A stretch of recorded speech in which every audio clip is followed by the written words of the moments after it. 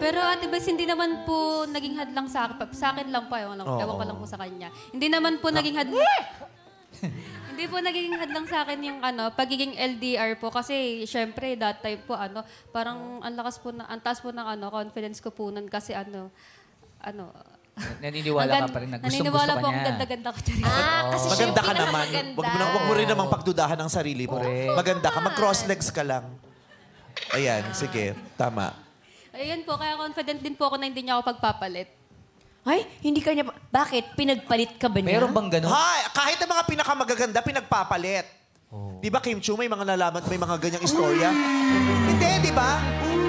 Di ba may, ma- may mga kakilala tayong Kilala, may ganyan? kaibigan. Si Ann Curtis nga, naranasan yan. Si Ann Curtis na yun, ha? Yes. Marami. Ako na to, ha? Ikaw din.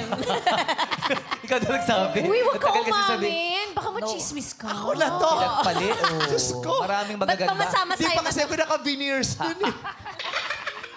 Sino? Ha? Ang ganda-ganda ko, pinagpalit din ako. Deserve mo. Tama yung desisyon ng bata. Nakapag-isip-isip siya. Naliwanagan. Hindi, joke lang. Hindi, hindi guarantee yung ganda, no? Hindi guarantee ang ganda. Eh, ito na yung todo. Oh. Hindi nga guarantee yung pagmamahal, eh. Kasi minsan kahit minahal mo naman ng totoo, ipinagpapalit ka pa rin. Correct. But it is not because of you. Yes. Hindi dahil sa hindi naging sapat ang ganda at pagmamahal mo. It's not about you. Sometimes, love just ain't enough.